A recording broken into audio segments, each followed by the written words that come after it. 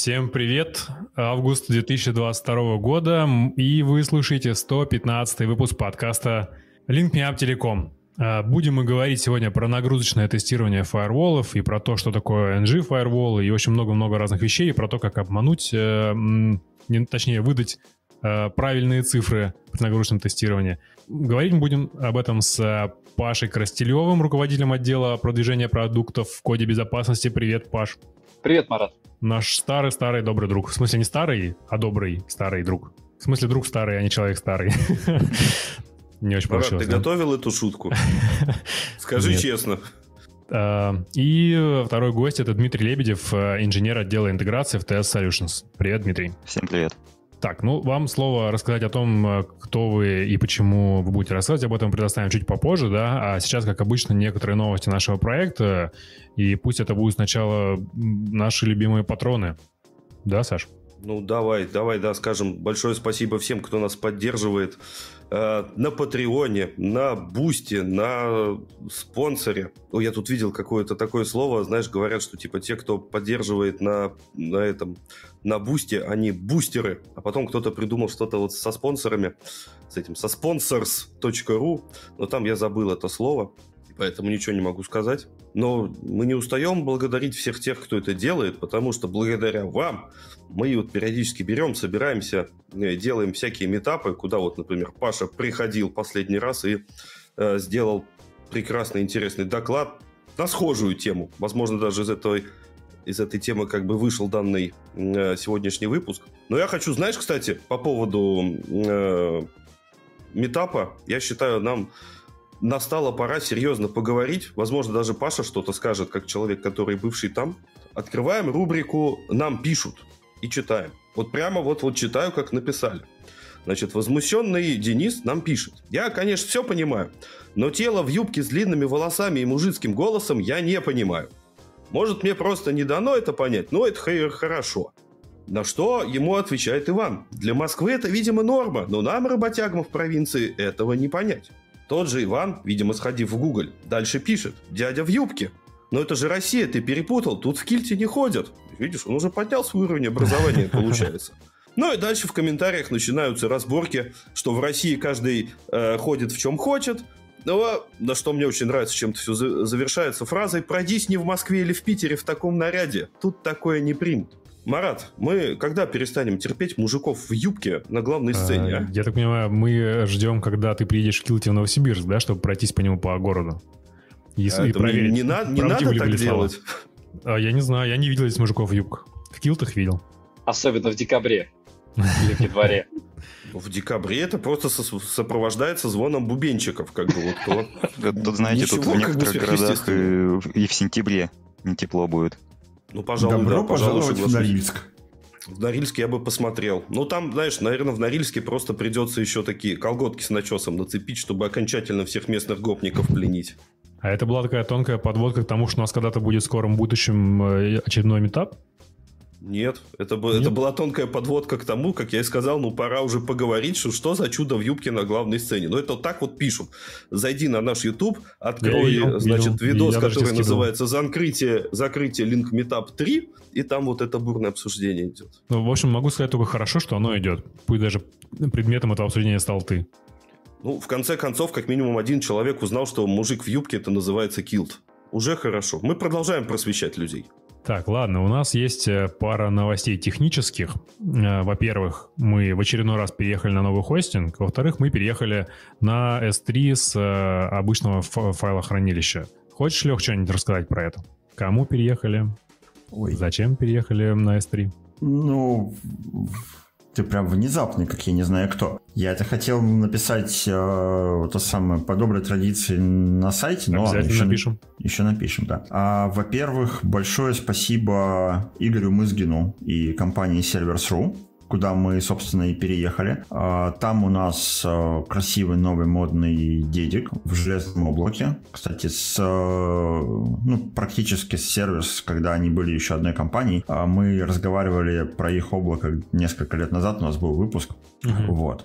Можно будет потом ссылочку приложить. А, сделали, да, сделали все по фэншую, с, там, с виртуалочками, с контейнерами, отказоустойчиво, а почему S3? Ну, потому что исторически все файлы лежали на э, NFS шаре, которая там монтировалась к виртуалке с сайтом, и все это было прям жутко неудобно обслуживать и, и так далее, э, там, чтобы некоторые не говорили. Но да, оно работало. Ну, а тут появился повод, и заодно решили все переделать так, чтобы это скейлилось, э, чтобы это можно было там тоже просто забэкапить, чтобы можно было просто перенести куда-нибудь. Э, вот как-то, в принципе, наверное, и так. Ну и плюс э, работать с тем же S3 удобнее там с помощью всяких опишек, интеграции и все прочее, чем с э, там, другими решениями. Ну, если мы ну, говорим Другие решения — это SSH. Наш скрипт, который делает релизы подкастов и анонсы, он ходил раньше по SSH, а закладывал туда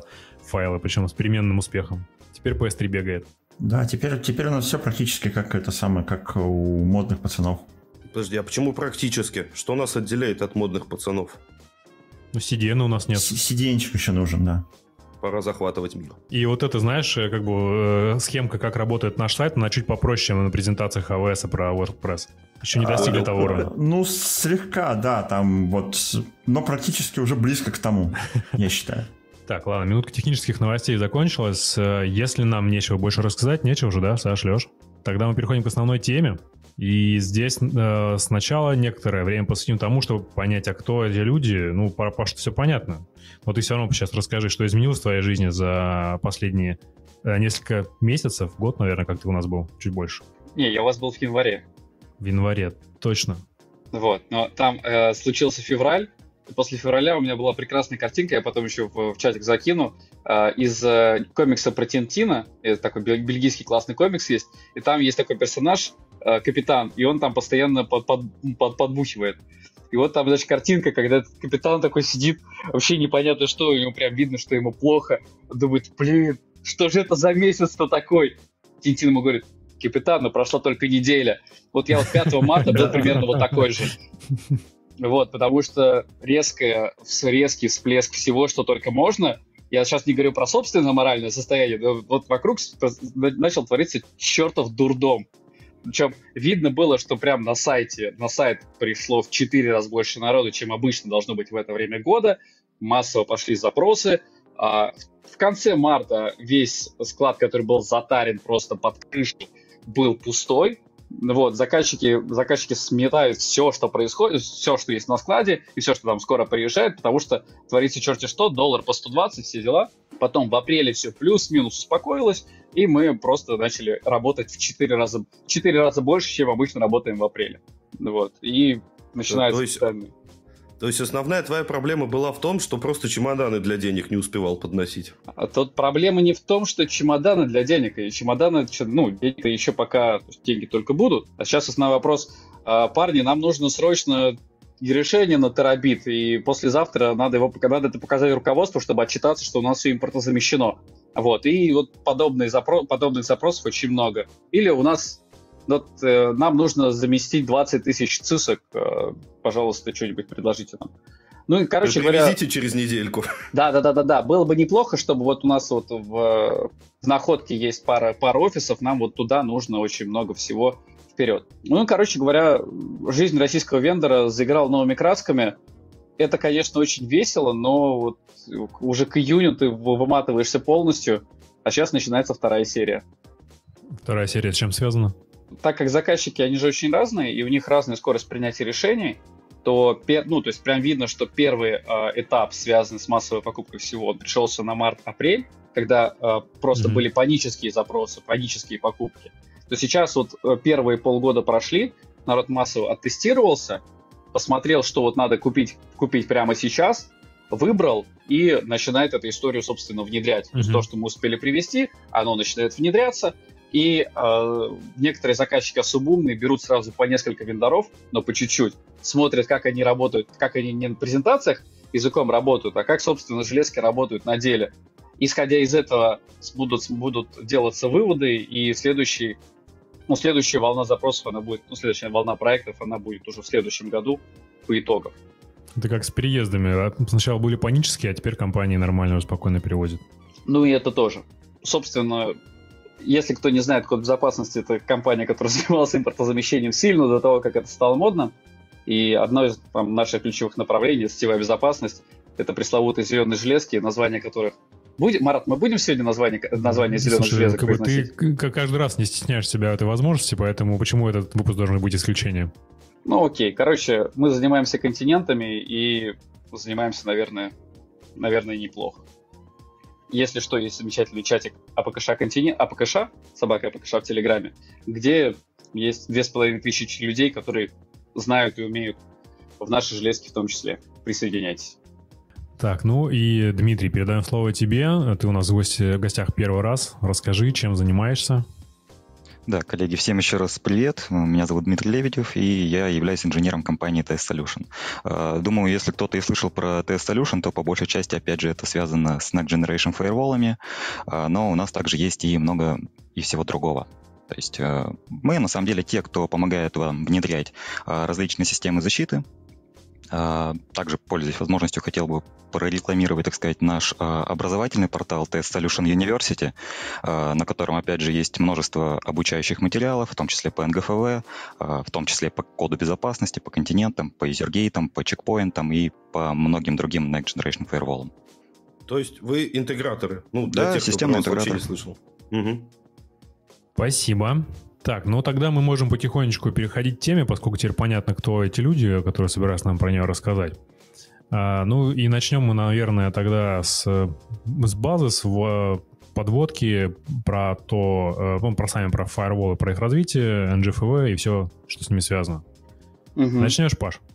Да, значит, а, для тех, кто слышит, слушает наш подкаст в отрыве от а, предыдущих, по-моему, начиная с 94-го подкаста, 94-й, 95-й и, по-моему, 97-й, а, были про а, фаерволы, про фаерволы, про фаирволы и про файерволы. А про брендмаузеры? Или как а, и про, и про брендмауры тоже. И там а, очень хорошо все описывалось с точки зрения сетевой. Там э, Борис очень так округло сказал, что у нас есть НГФВ, но что такое НГФВ? И почему они, собственно, НГ, и что будет дальше, там не, не очень было понятно. А, и история в том, что а, у нас есть, собственно, firewall, то есть есть пакетный фильтр, который просто пропускает или не пропускает трафик. У нас есть stateful firewall, который а, смотрит, есть ли сессия, и если сессия а, поднята, то трафик пропускает. Не нужно делать два правила, можно справиться одним. И есть Next Generation Firewall, который отличается только тем, что может смотреть на, а, что происходит с трафиком на прикладном уровне, а, смотреть, кто использователь, ну, кто, кто с этим трафиком работает, не только IP-адрес, но и пользователь, и умеет применять какие-то способы фильтрации трафика. То есть и загружать, пользоваться какими-то внешними сервисами для того, чтобы получить дополнительную информацию. Это вот если прямо возьмем термин Гартнера, который был там в 2009 году сформулирован. То есть это тупо firewall, плюс а, IPS на той же коробке, плюс, кон- плюс контроль приложений, плюс возможность куда-то дополнительно обратиться, чтобы получить какую-то дополнительную информацию. А, сейчас, по факту, это а, кроме IPS, кроме application control, это обязательно URL-фильтрация, это обязательно вскрытие SSL ну, или TLS трафика, если правильно говорить, и это работа с э, какими-то внешними, внешними сервисами, типа песочницы и DLP э, систем. А их особенностью, про которую в прошлый раз, ну, на прошлых подкастах сказали мало, является в первую очередь централизованное управление. То есть если, если технически смотреть на то, Firewall очень близок к роутеру, но они очень сильно отличаются в контексте именно, именно централизованного именно управления. То есть обычно для фаерволов характерно, именно для, для фаерволов характерно Э, большая консолидация в, на одной странице всей политики безопасности. То есть там и, и какой трафик куда должен идти, и как он должен проверяться, и как, как, э, какие пользователи у вас есть, каким пользователям куда можно, куда нельзя, и так далее. И э, вместе с этим идет, идет и мониторинг, который всегда обязательно централизованный, собирает все, что можно, выгружает какой-нибудь CM все, что можно, и так далее. И э, здесь есть вещь, которая лично у меня вызывает просто подгорание. Это э, холивары на тему, что такое НГФВ, что такое UTM, потому что разные вендоры вот эту функциональность э, в течение последних 15 лет называли по-разному. То есть кто-то говорил, что они UTM, Unified Threat Management, то есть коробка, которая может сделать несколько, несколько э, механизмов безопасности в рамках одной железки. А НГФВ — это тоже коробка, которая это может делать. А, и по факту это как машина и автомобиль. То есть два разных слова с разными корнями, но а, об одном и том же. И с силами некоторых вендоров, то есть в частности Fortinet себя пытался одно время позиционировать как UTM, хотя, в общем, они уже, уже очень давно не а, являлись э, устройством для среднего и малого бизнеса. Palo говорила, что они только, только они это Next Generation Firewall, а все остальные это UTM. По факту, с инженерной точки зрения, это всегда одно и то же. И когда приходит вендор и говорит, что вот мы НГФВ, а все остальные UTM, это все булшит, и э, это способ немножко отвлечь внимание от действительно важных вещей. Вот Гартнер говорит, что тема с UTM и НГФВ закончилась 10 лет назад. Они 5 лет назад выпустили отдельный документ, в котором сказали, ребята, если вам вендор говорит, что НГФВ, что он НГФВ, он вас просто парить, потому что сейчас все, все э, фаерволы на рынке э, это Next Generation фаерволов, потому что нету фаерволов, которые не умеют смотреть на прикладном уровне, хоть как-то. Вот, поэтому это вот все, что я хотел сказать именно про э, Next Generation историю. Если мы говорим про развитие всего этого, потому что я помню, нам задавали этот вопрос, то есть как это выглядело? У нас до 2004 года активно развивались stateful фаерволы, в 2004 году там появились вопросы, а как можно сделать так, чтобы Stateful Firewall был более эффективен. В 2009 году, в 2007 году появился первый фаервол от Polite, в 2009 году uh, Checkpoint, там, uh, Checkpoint Gartner сформулировал вот этот вот термин Next Generation Firewall, и к 2014 году у всех ключевых uh, сетевых вендоров а, бы э, или фаервольных вендоров появились решения класса Next Generation Firewall. Собственно, последняя была Cisco с э, SourceFire. И э, после этого вторым поколением Next Generation Firewall, который, в общем, длится сейчас, а, вот оно началось. То есть, как правило, туда добавляется помимо application контрола контроль приложений, добавляется обязательно песочница, добавляется удаленный доступ, clientless удаленный доступ и, а, и добавляется все, что касается высоких, высоких, высокой производительности. То есть, а как, как наш firewall должен э, обеспечивать там 100 плюс гигабит в секунду пропускной способности. Разные вендоры к этому подошли по-разному, то есть кто-то просто взял очень большие асики, очень мощные, кто-то решил э, сделать очень мощный, очень мощный балансировщик к нему добавлять э, устройство. Но по факту ничего принципиально нового на рынке так и не появилось. И к этому добавилось тот факт, что на Западе тема собственной инфраструктурой начала потихоньку затухать, и появилась тема с облачной инфраструктурой. А в облачной инфраструктуре заказчики вместо того, чтобы а, туда методом параллельного переноса переносить а, железные фаерволы в виде виртуальных appliances, начали тупо пользоваться услугами а, Amazon, слэш, э, слэш Google, слэш Microsoft, и поэтому сейчас будущее всех фаервольных вендоров, кроме российских, в России находится под некоторым вопросом. Так, э, слушай, а правильно ли я понял, что вот вся эта терминология по итогу как бы все фигня и все фаерволы? Да. А все вот это бегание НГ, не НГ как бы в пользу бедных? Ну, да. Вот, в общем, по процентов на 99 уже это так. Потому что, потому что, потому что прикрути себе движок, который э, может разобрать HTTP, и который может э, вычленить Skype из трафика, ну, это не представляет вообще никакой проблемы. Уж сурикату, э, уж сурикату поднять в Linux тоже может, там, если не каждый второй, то каждый третий инженер. И, собственно, поэтому делается оно сравнительно просто. Основная фишка там как раз именно в управлении. Ну, собственно, это уже следующий этап. Угу. Я бы здесь еще добавил про целом про UTM и про NGFW, что и к нам там частенько тоже приходят и говорят, что нам лучше выбрать, там, чем NGFW отличается от UTM, и тут, не знаю, хотелось бы, наверное, подытожить в этом плане, что э, бывают такие запросы, что вот давайте выберем там нам NGFW, а UTM нам не нужен. Ты их спрашиваешь, а в чем вообще, вот, по-вашему, это отличие? И, ну, на самом деле отвечают просто, что UTM это что-то, ну, это что-то такое слабенькое, среднее, не, не такое развитое, как Next Generation Firewall. А, но на самом деле-то, если так а, рассматривать эти решения, то UTM-то они появились раньше, и они по большей части включали в себя функционал там того же Firewall. Это был URL-фильтрация, антивирус, антибот, антиспам, а, VPN. А, Next Generation Firewall же это, по сути, просто обычный межсетевой экран, который умеет разбирать а, прикладной уровень, то есть приложение. То есть если раньше мы разрешали там 443 порт, и все, у нас там ходили пользователи, ходили там на тот же Facebook, на YouTube и куда им угодно, то вот как раз-таки Next Generation Firewall, они позволяют определять приложение внутри этого трафика. То есть там взять, там, допустим, разрешить не просто Facebook, а разрешить там чатиться в Facebook, а все остальное там запретить. Запретить там, не знаю, воспроизводить видео на YouTube и так далее. Там. Uh, ну и тут даже на самом деле даже не просто про 443 порт, а вообще в целом про приложение. А, ну и, конечно же, ко всему этому, если раньше там на UTM, на обычных межсетевых экранов а, источники трафика это были IP-адреса, обычные сети, то вот в Next Generation Firewall как раз таки появилась возможность а, фильтровать трафик по пользователю. А, и по большей части это на самом деле сейчас, ну, на самом деле это нет никакого различия с точки зрения UTM это или NGFW. А, раньше там, опять же, да, был, было различие в обработке трафика, что UTM, а, они они считались изначально, да, что это для среднего и малого бизнеса, так как, опять же, они обрабатывали трафик э, последовательно. То есть сначала там, условно говоря, отрабатывает APS, потом там отрабатывает э, не знаю, там, антиспам, антибот и так далее. И, условно говоря, каждый функционал отрабатывает последовательно. За счет этого трафик обрабатывался медленно и ну, не подходил, допустим, для enterprise решений. А сейчас же это уже на самом деле не так, и так скажем, все современные UTM решения, они обрабатывают трафик э, ну, немножко по-другому уже.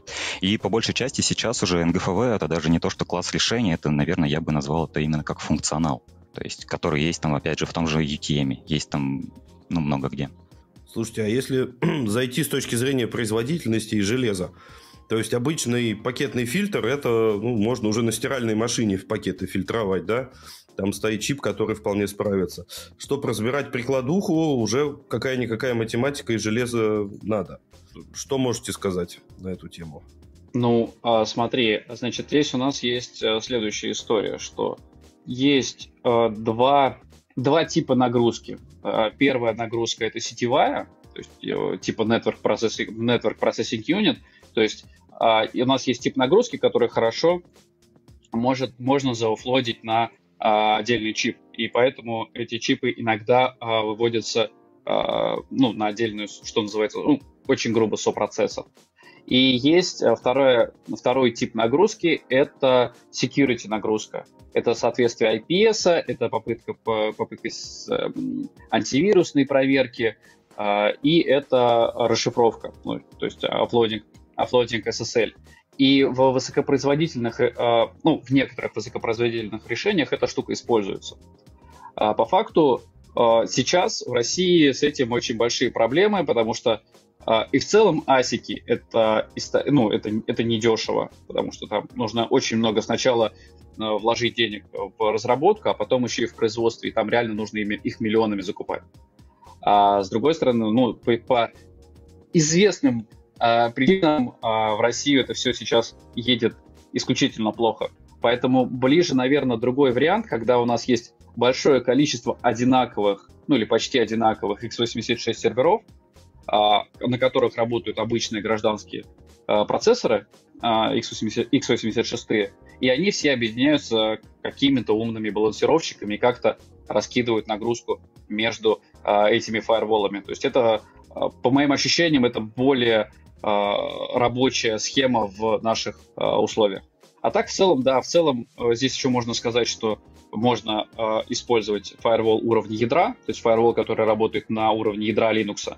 Э, он в этом случае немножко проще, раз, э, он в этом случае немножко проще разрабатывается, э, но ты становишься очень сильно привязан к ядру, и ты не можешь его особо поменять. А, либо ты можешь использовать firewall уровня пользователя, ну, user mode firewall. В этом случае Э, он будет работать быстрее. Это тема про DPDK. Я насчитал порядка десятка подкастов в LinkMeApp, где эта тема так или иначе затрагивалась.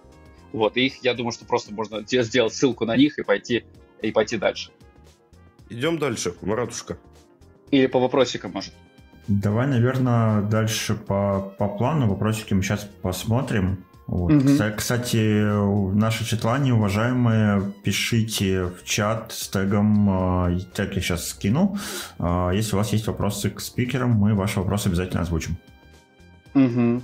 А, тогда я предлагаю последнее, что сказать про, про фаерволы, про выбор, это то, что а, они есть по большому счету в... То есть, е, э, чтобы выбрать фаервол, необходимо сначала определиться с сценарием. То есть у вас может быть четыре больших сценария э, использования фаерволов. И в зависимости от этого у вас будет различный приоритет к их э, функциям. Это фаервол периметровый, это фаервол сегментирующий, это фаервол территориально распределенный и это фаервол для среднего и малого бизнеса.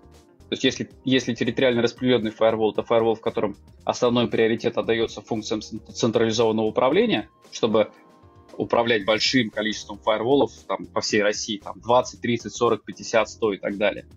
А в случае с периметровым фаерволом это обязательно идентификация пользователей, это контроль доступа в интернет, это IPS, а, это расшифровка трафика.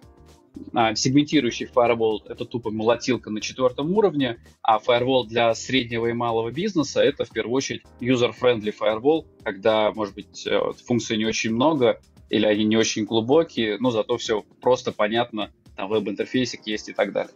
А вот пока далеко не ушли, вот смотри, а, про Next Gen Firewall, там разбор приложений и так далее. Вот я помню, когда-то давным-давно, это был год, наверное, шестой, а, там, седьмой, может быть, а, на винде была такая замечательная программулька, называлась Outpost Firewall. И она, короче, умела детектить приложение, что вот там, не знаю, приложение пассианс косынка хочет залезть в интернет, и вот можно вот пассиансу косынка э, доступ в интернет зарезать, да, а всем остальным оставить. Вот это является Next Gen Firewall или это так, немножко другое? Это другое, потому что у тебя здесь, здесь, тоже, здесь тоже есть а, такая сущность, как приложение, но это скорее host-based firewall, который управляет процессами а, и управляет доступом процессов к сетевому интерфейсу и к сети. То есть у нас есть там pasians.kosynka.exe, и вот мы этому конкретно процессу не даем идти в интернет, кроме как по 80-му порту. Здесь есть а, потенциально хитрая схема, что агент на рабочем месте сообщает firewall о том, что вот это вот это вот подключение по 80-му порту инициировано а, процессом косынка с ну косынка.exe с таким-то с такой-то контрольной суммой, типа имея это в виду, но это уже ну, вот это вот уже следующий этап, это конвергенция а, сетевых средств защиты и агентских. Это важно, потому что у нас появляется очень много зашифрованного трафика, который тупо не расшифровывается. То есть если с обычным TLS там 1.2 э, можно что-то сделать, 1.3 можно даунгрейдить до 1.2, а как только у нас появляется Quick на, с точки зрения сети, с ним что-то сделать очень тяжело. Поэтому имеет смысл что-то иметь на, э, агент, ну, на рабочих местах, на эндпоинтах, что будет отстукиваться, какое реально там приложение как, используется какой там трафик идет. Но вот, на мой взгляд, это некоторое будущее. Пока что я с этим не сталкивался, что называется, в реальной жизни. Ну, подожди, это получается какой-то он премис решение, потому что э, ну, продолжая мысль с аутпостом, по-моему, я впервые в ESET увидел такую историю, да, вот некий интеллектуальный режим работы этого софтового фаервола, да, когда он по дефолту выпускает некие известные приложения и беспокоит тебя, только видит, когда видит как бы либо что-то совсем неизвестное, либо откровенную лажу. То есть, как я понимаю, он видит какую-то фигню, он блокирует ей доступ, бежит сначала на свой сервер, такой говорит, слушай, а может это сигнатура вируса или нет? Ему там говорят окей, не окей, и после этого он бежит обратно и уже юзеру выводит ахтунг. Что смотри, там какая-то фигня ломится, и кажется, это вирусня, давай ее не пустим. Так, ну, то есть это стандартный подход, но это host-based firewall, это ну, достаточно... Это, это прямо вот тот вот NGFV, про который ты говорил, который бегает на внешний сервис и на основе решений внешнего сервиса изменяет свое поведение. Но это все-таки штука, которая находится, ставит, ставится на агенте. И здесь ты, с одной стороны, упрощаешь себе жизнь как сетевик, но с другой стороны, усложняешь жизнь команде, которая отвечает за эксплуатацию а, конечных точек. Потому что им это необходимо поддерживать. У них операционная система должна с этой штукой быть совместима, она должна интегрироваться в инфраструктуру мониторинга, а она должна интегрироваться в инфраструктуру мониторинга безопасности.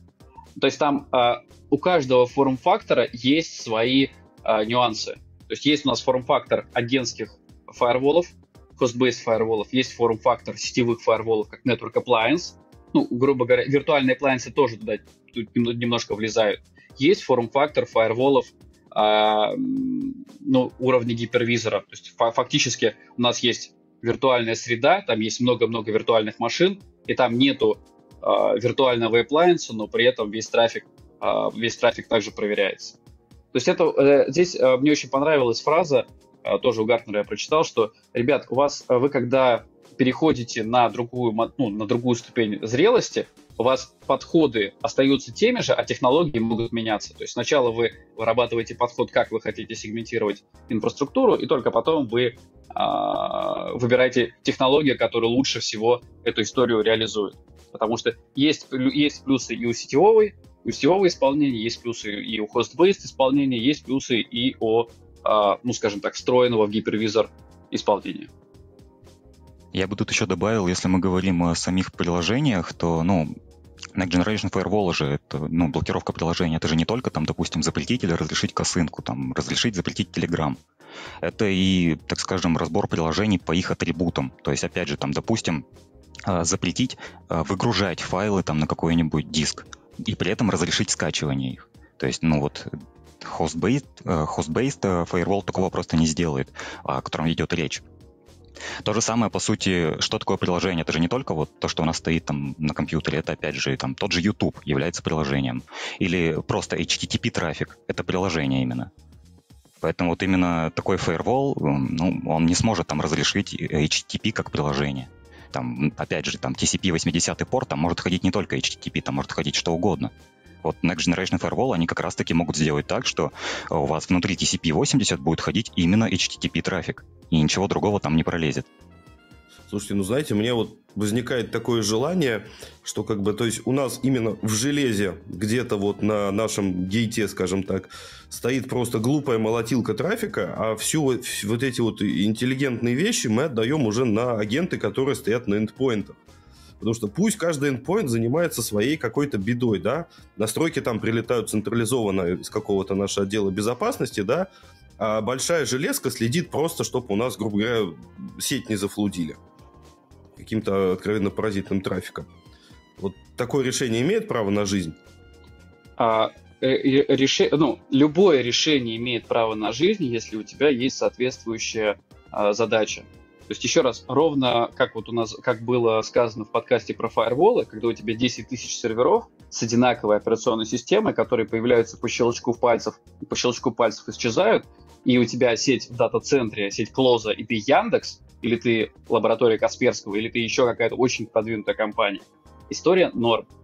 Как только у тебя сеть, сетка попроще, как только у тебя э, 10 разных типов эндпоинтов, и когда у тебя тупо нельзя ничего поставить по разным причинам на э, конечную точку, э, начинаются большие вопросы. Как только у тебя появляется вероятность того, что злоумышленник окажется в сети и начнет себя выдавать за другого пользователя. Ну, за, ну, то есть, допустим, будет делать ARP-спуфинг или еще какую-нибудь бяку.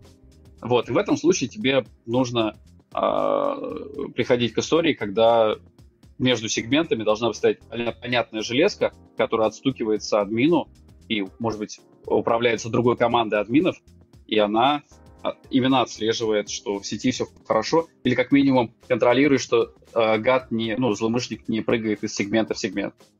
А, продолжая историю про производительность, вот, э, Паш, ты говорил про асики в контексте фаерволов, но, слушай, вот, по-моему, уже там довольно давно там что-то более-менее фаервольное, это x86, то есть там у тебя, окей, может быть DPU, но его может тоже не быть, потому что, в принципе, он там современные карточки, по крайней мере, справляются с, с offloading ом.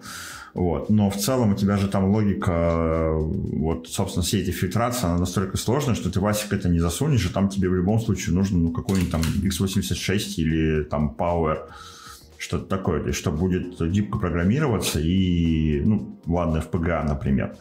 Вот. Но тем не менее, там гибкость программирования вот с э, правил прохождения и непрохождения, она что там на, первую, на первых ролях играет. А, там история в том, что у тебя есть, а, еще раз, а, там есть два, ну ладно, два, три направления, которые друг с другом слабо связаны. И объединять все три направления в, одно, э, в один э, сопроцессор, это реально больно. То есть, еще раз, сетевое направление, это безопасность, то есть это проверка трафика, и это офлодинг расшифровки, расшифровки SSL. И это каждый из этих, каждый из этих направлений а, лучше делается специализированным асиком, чем x86 платформой. Да, а, как правило, в высоких, ну, высокопроизводительных железках, фортиках, чекпоинтах, там есть x86 процессор, и это по факту очень мощный сервер. Но а, в том же, в том же Fortinet есть x86 процессор, но он работает рядом. Это, грубо говоря, control plane. А data plane — это все, что касается управления э, и проверки, трафи- проверки трафика. Это все делается э, специализированными э, процессорами. Мы это точно знаем, потому что у нас одна из инициатив была, когда все вот это вот началось в марте, точнее в феврале началось, в марте продолжилось.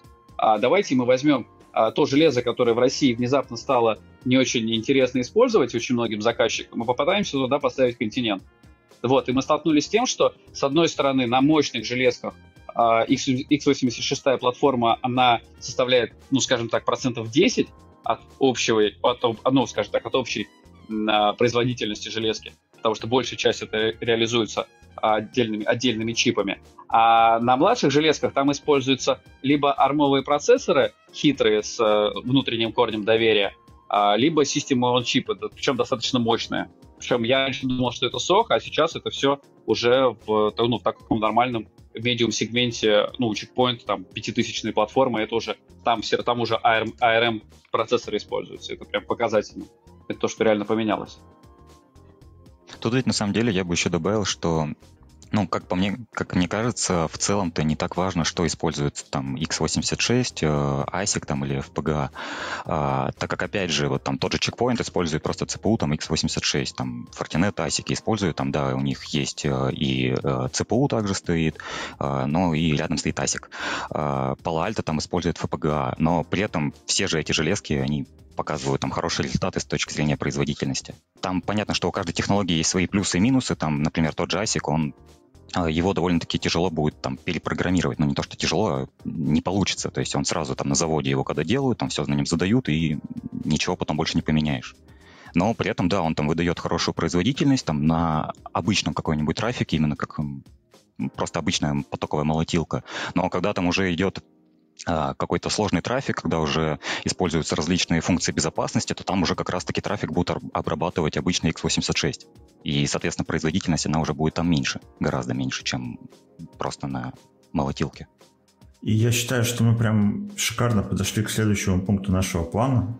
Про... Подожди, подожди, давай, давай мы давай. вот Двухминутка куйка. Вот и Паша постоянно жалуется, и в чате пишут, что его проще заблочить. А, давайте на пальцах. Что с ним не так? Почему его проще заблочить? Это же прорывная технология светлого будущего. Это прорывная технология светлого будущего для Гугла. То есть у Гугла светлое будущее будет. А у всех, а, кто хочет смотреть внутрь а, того, что происходит, ну, внутрь трафика, который клыком зашифрован, ну, грубо говоря, HTTP дробь 2, ну и, собственно, собственно, клык, а, сразу появляется куча очень неудобных и очень неприятных для решения задач потому что ты as ну, традиционный man in the middle в этом случае не сделаешь. То есть тебе необходимо довольно серьезно извращаться, чтобы посмотреть внутрь этого канала. Их там реально много. То есть, как обычно, любая технология, она дает какое-то количество плюсов для тех, кто ее разработал и использует. А для кого-то она дает кучу, кучу головника, с которым надо что-то делать. В итоге его реально проще заблочить и сказать, нет, ребят, вы, вы его пока не используете. И очень сильно надеяться, что э, его использование не сделают там обязательно. Тихосапы выключат, выключат лег- возможность legacy для использования там TLS 1.3 и так далее. Вот. Это отдельная, отдельная большая история про технологический суверенитет, формирование этих вот как-то технологических я не знаю, как кланов, что ли, или технологических альянсов, когда у нас прям вот видно, что у нас есть царство Гугла, есть какое-нибудь царство Huawei, и вот каждый из них делает свой собственный стек технологий, который друг с другом достаточно плохо совместим, и они прям вот видно, что друг друга вот начинают дропать, дропать техподдержку и так далее. Но это может быть потому, что я просто слишком долго работаю в российском вендоре и слишком часто это слышу. Но тут есть ощущение, что вот эта вот штука нас ждет там следующие 5-7 лет. И вот у нас будет вот два таких вот мира. И мы, и мы вот третий. Это, наверное, как организовать сайт-то-сайт между отечественными клетошлюзами. Ой, ну ты начинаешь. Слушайте, но про Куик очень, как это, периодически рапортует, что он растет все больше, больше и больше. Но учитывая, что ты говоришь, что его там, не невозможно, а около невозможно разобрать там за приемлемое время на адекватном железе, получается, что? Получается, все корпораты сразу минус, они его к себе не пустят. И Куик удел кого? Хоум-юзеров? Ну, слушай, у тебя Google-то борется не за Enterprise, он борется за твою мобилку, э, за твой телевизор, за твой лэптоп. И, Иди расскажи и за мировое господство. Ну, это да. Иди расскажи это все пользователям ГЦП, э, пользователям корпоративной почты, почты гугловой и все прочее. Нормально там тоже Google как бы деньги, они деньги. Нет, ну здесь просто э, ну, нам, ну, этот, мы, кстати, по-моему, короче, да, нам нужно притащить кого-нибудь, э, кто шарит за квик и эту тему обсудить. Но в целом там, в общем-то, была идея именно в том, чтобы э, доставлять довольно тяжелый контент. То есть там ГЦП и почта, они, в принципе, ну, ГЦП это вообще вещь себе, да, а почта, она почта, как бы, а когда тебе нужно доставлять много э, тяжелого контента, то есть это YouTube, то там вот там клик уже начинает ролять прям во, во все щели. Окей, ладно. Ну, на этой прекрасной ноте я предлагаю все-таки тогда да. Давайте дальше по плану. Да. да. Про RFC 2544, с помощью которого измеряется производительность. Подождите, подождите, давайте мы все-таки не производительность будем мерить, а сначала скажем, что такое нагрузочное тестирование для фаерволов. Потому что... Э, давайте я начну так. Потому что многие, как я понимаю, под нагрузочным тестированием понимают, что вот у нас написано чип 10 гигабит. Давайте мы 10 гигабит врубим и посмотрим, взорвется он или нет. Но в то же время нагрузочное тестирование может быть, давайте мы подадим 10 гигабит и оставим на неделю. А вдруг у него память потечет и взорвется он через 3 дня только, а не через 2 минуты. Ну, тут вопрос, смотри, а тут вопрос в том, что разные организации понимают под словом нагрузочное тестирование разные вещи.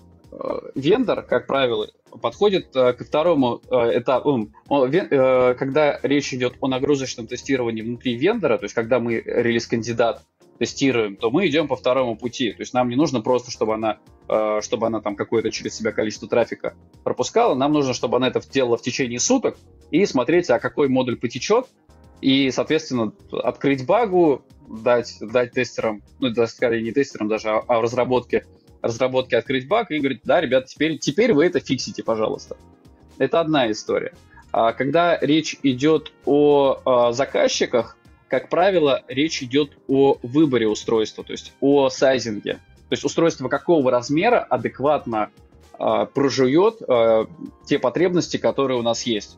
И это неразрывно связано с тем, сколько мы готовы или сколько мы можем заплатить а, в контексте а, ну, за вот это вот за вот это вот устройство. То есть сколько, то есть это скорее вопрос выбора решения, чем собственно вопрос, э, сколько оно потянет. То есть мы здесь выбираем стоимость мегабита, очень грубо говоря.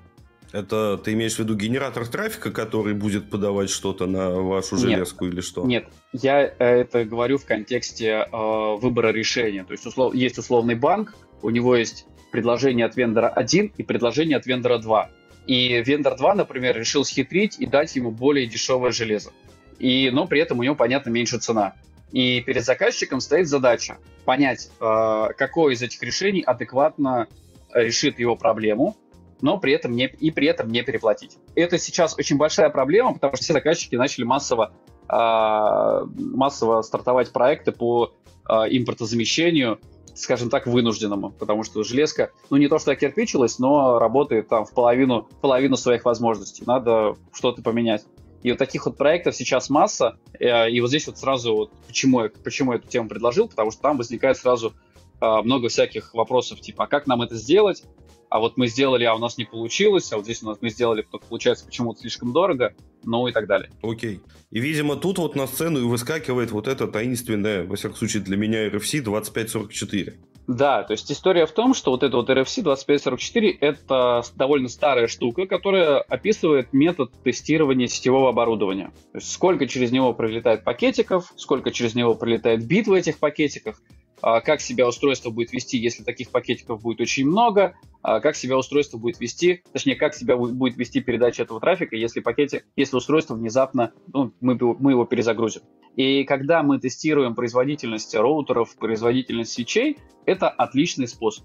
А вот когда мы тестируем производительность, а, собственно, фаерволов, то есть, то есть условно, очень интеллектуальных штук, вот здесь возникает сразу очень много вопросов. А, кроме этого, возникают вопросы к трафику, который мы через а, это устройство, через устройство даем.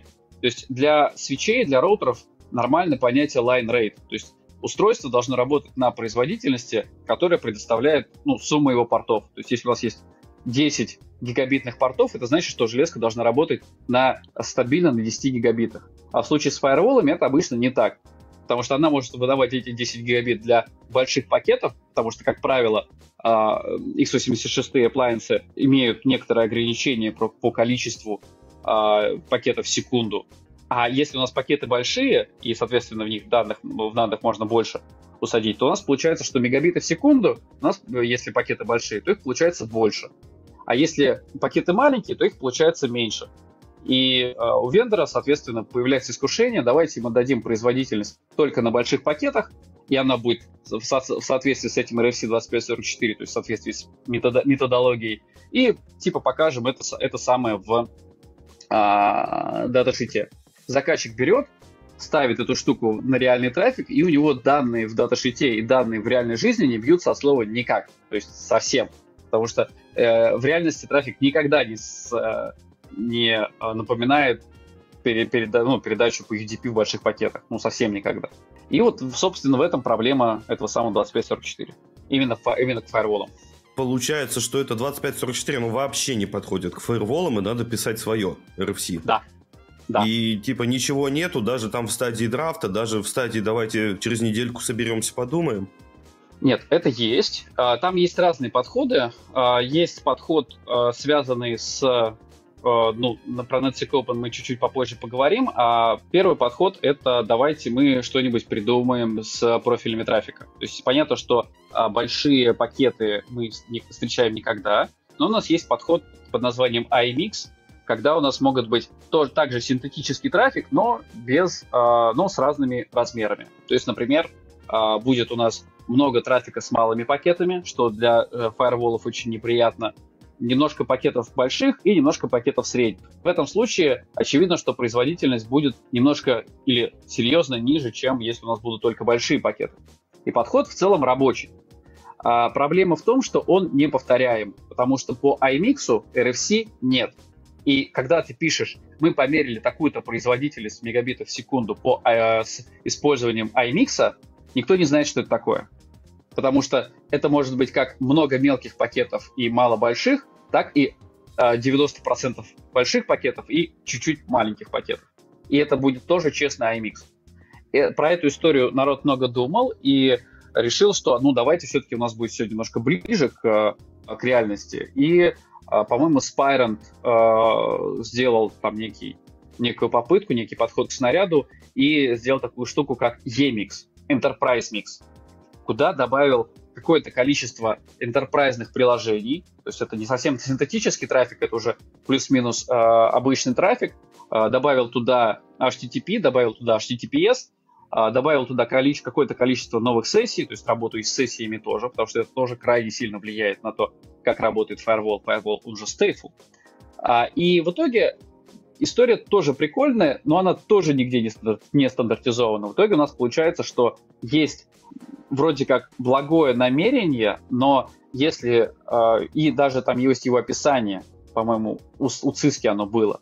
Но если ты возьмешь это описание и, воз, и увидишь где-то тоже фразу, что вот это померено по EMIX, то никто не может гарантировать, что там оно действительно померено именно по этому описанию, а не по какому-то другому.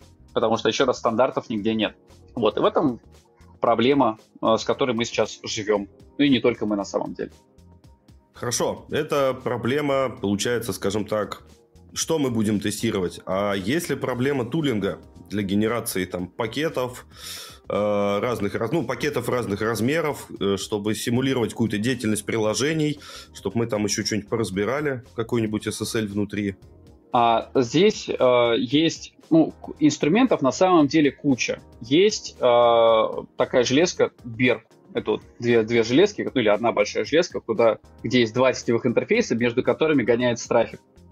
Ставится девайс under test, то есть девайс, который ты хочешь протестировать, и там в одну сессию или в несколько сессий трафик гоняется, и можно получить э, понимание о базовой пропускной способности. Есть э, T-Rex, по-моему, он Syskin, есть, по-моему, у Яндекса какой-то какой инструмент для генерации трафика. Есть, есть инструмент генерации трафика у Spirent, есть как, как платный, так и бесплатный. А, проблема в том, что адекватную нагрузку на них сделать а, не так, чтобы просто. Адекватную нагрузку можно сделать на самом, ну, с моей точки зрения, прям идеальный, идеальный инструмент. Это а, Xia Bracket Point. А, классно все, кроме того, что, во-первых, он стоит как крыло два крыла от Боинга. Он очень дорогой, он трындец какой дорогой. Я уже не говорю про то, что сейчас его в России не купить. Вот. Плюс э, под него надо весьма серьезно учиться. Но там можно делать вообще все. Можно симулировать атаки, можно симулировать э, живой трафик, можно симулировать э, трафик, ну, э, какие-то попытки поменять этот трафик.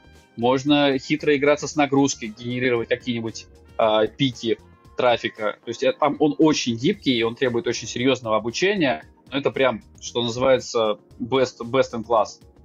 Вот. Ну и кроме этого, в любом Linux есть такая штука, как iPerf, и им тоже люди пользуются, но э, использовать тулу для генерации трафика на третьем уровне, для тестирования устройства, которое трафик проверяет на седьмом уровне, э, ну, это весьма специфический подход. Я уж не говорю про то, что там периодически тоже с, повторя... с повторяемостью некоторые вопросики бывают. А вот тут нам в чатике подсказывают, что в RFC есть вполне себе пункт про изменяемый размер пакета.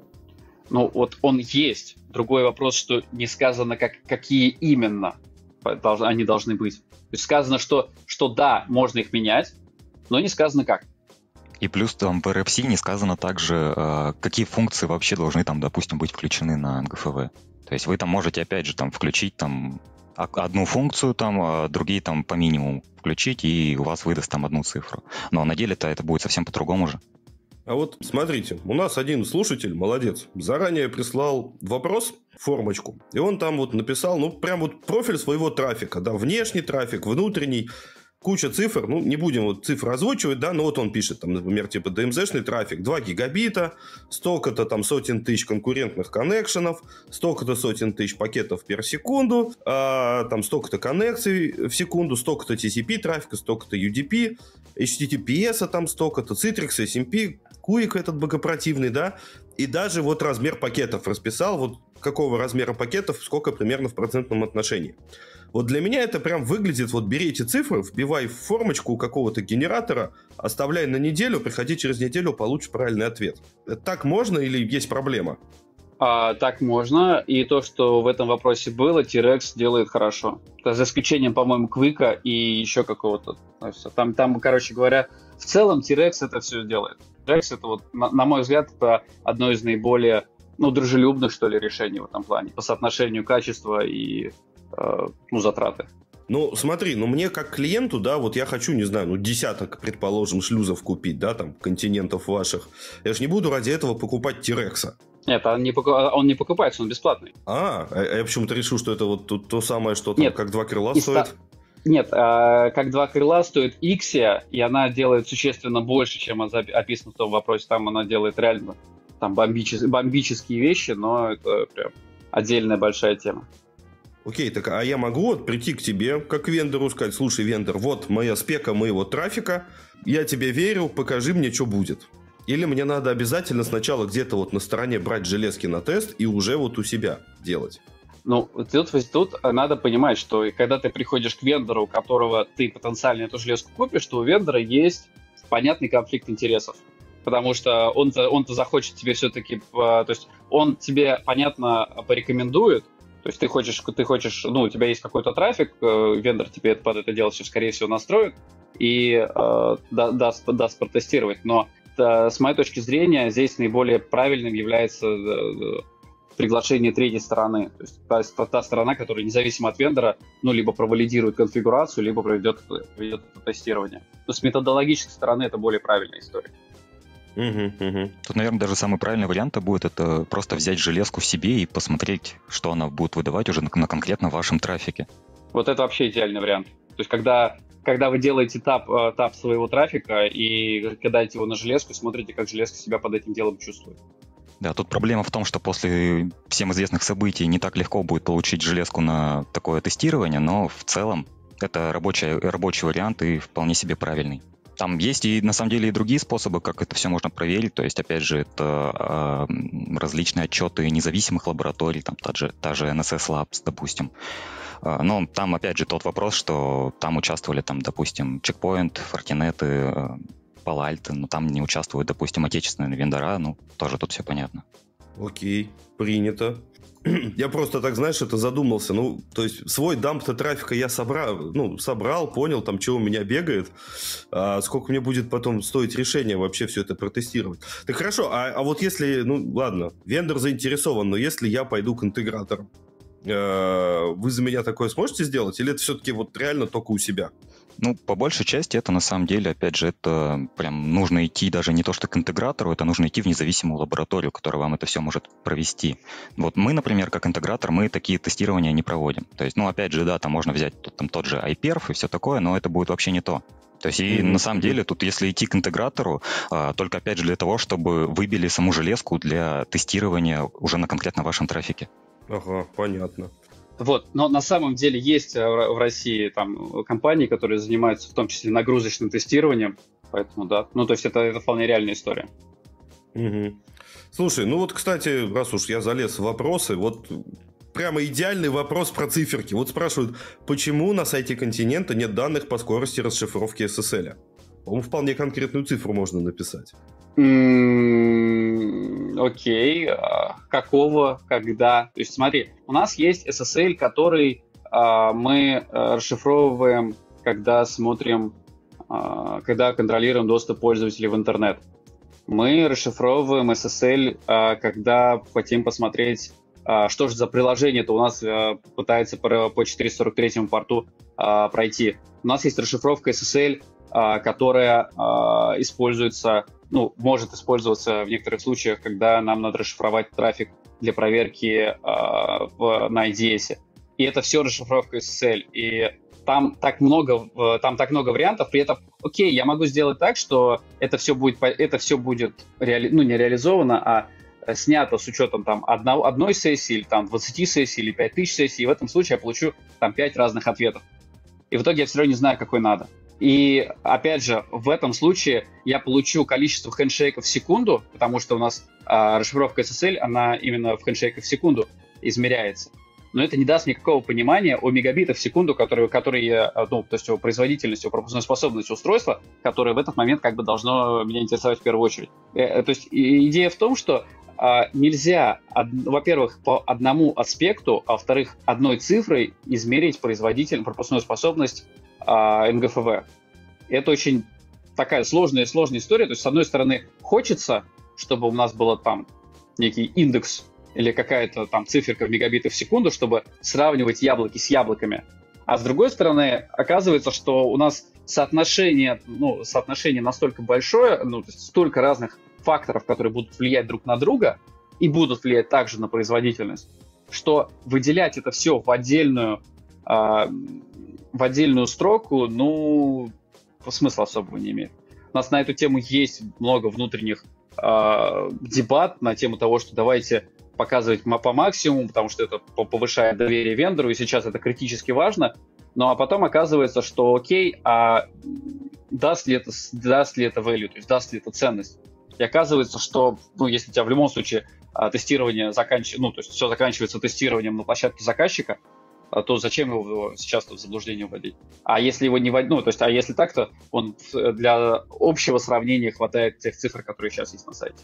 Слушай, ну я, насколько помню твой доклад на метапе, ты там как раз рассказывал, что некоторые вендоры э, прям вот пишут циферку побольше, и, насколько я помню, кого-то даже ловили на горячем.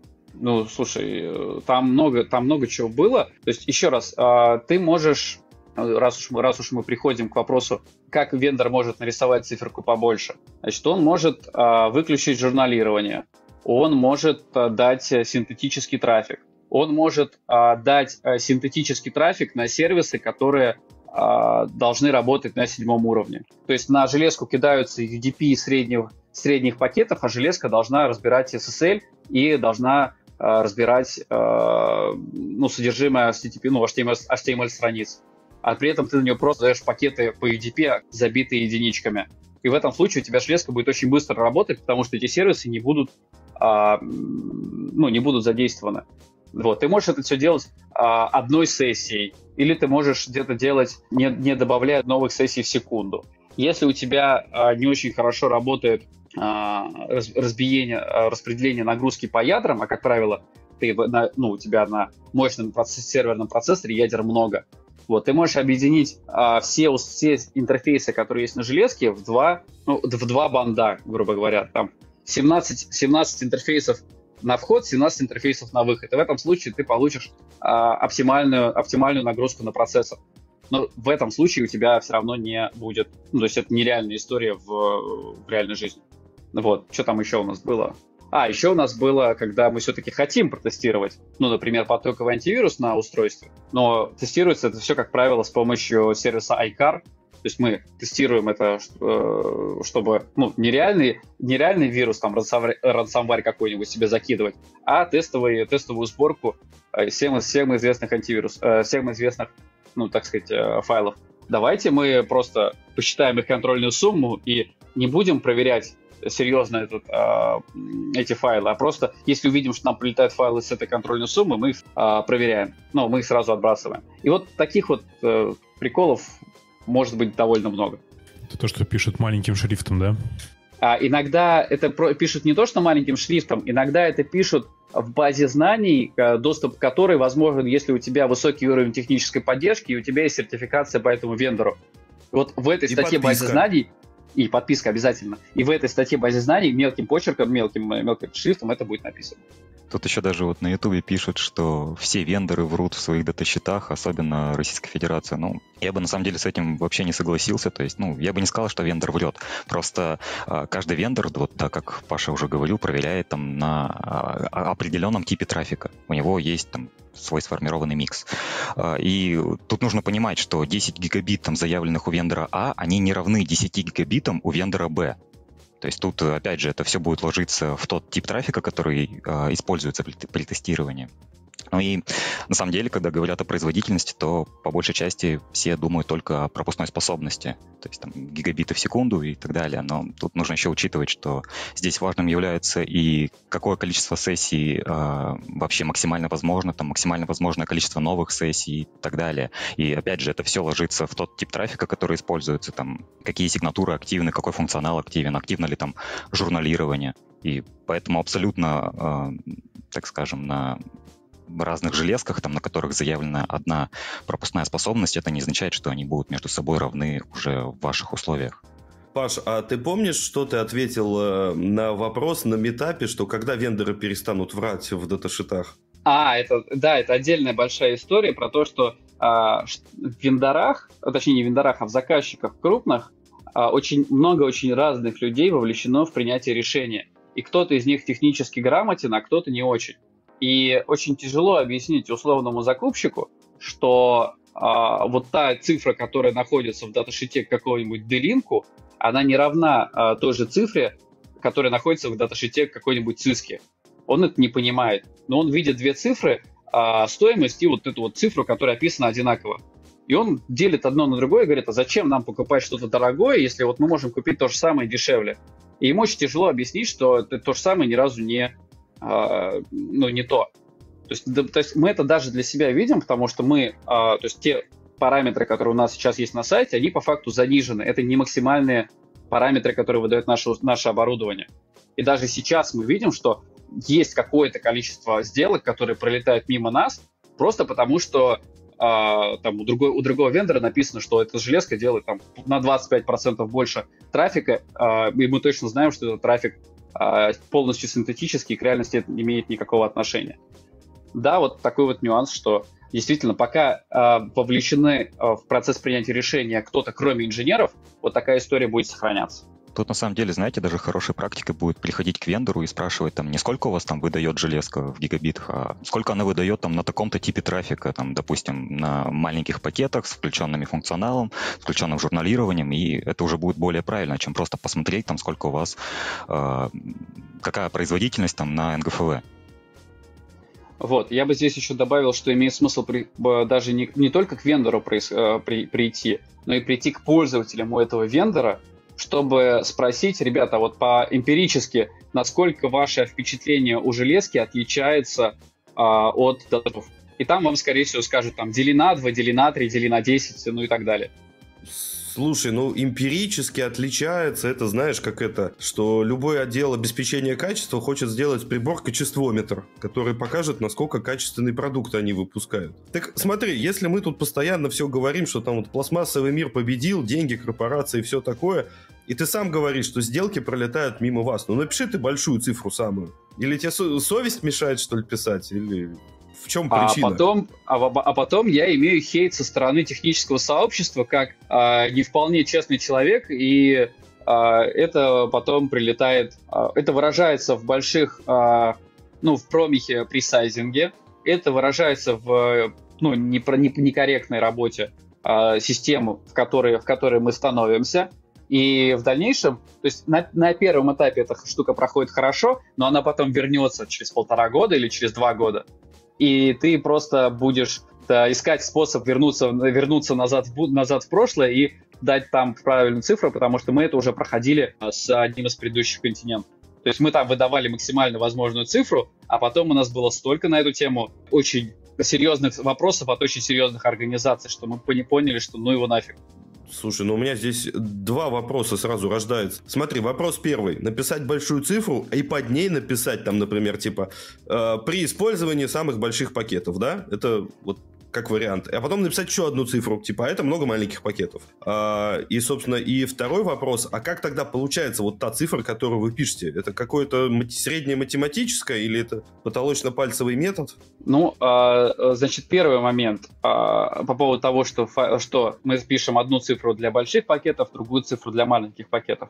Оно, скорее всего, так и будет. Я думаю, что мы к этому придем.